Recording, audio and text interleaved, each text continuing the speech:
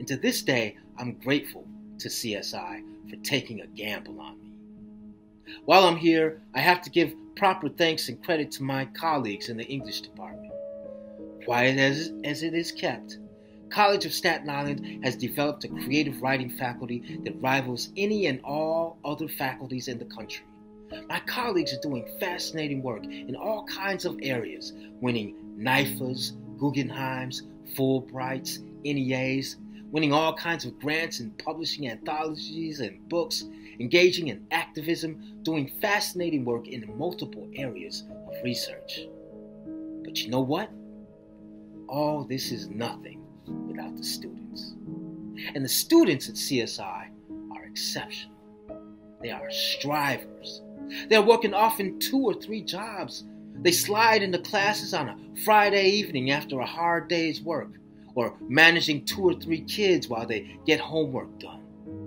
During this pandemic, they log on to classes on their laptops or tablets or even their phones, finding sanctuary in the only quiet space they can find, or maybe inside their car or on the floor of a closet in their cramped apartments, or maybe a park when it's warm outside. They come determined to work through their own quarantines and even through their own COVID infections.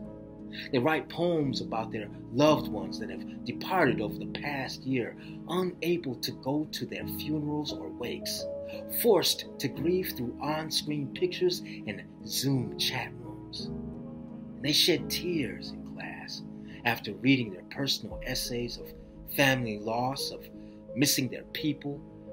And the whole class has to sometimes just take a beat, slow down, pause to remember something beyond just the idea of creative writing, poetry, or fiction.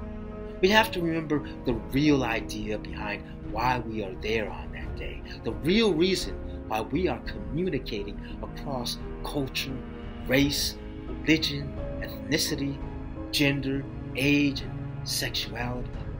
That the reason we are in the class floating in the electronic ether these days, but face to face in other days, is to find a way to listen more acutely, more kindly, more generously to each other.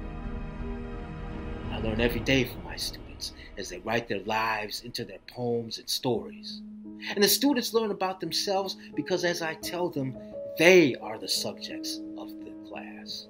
Their visions and dreams and hopes can stretch as far as they want them to. I'm just there to give them a framework in which to launch that vision. And then they can make their own frame by themselves. Thank you to all of you for your support of College of Staten Island students.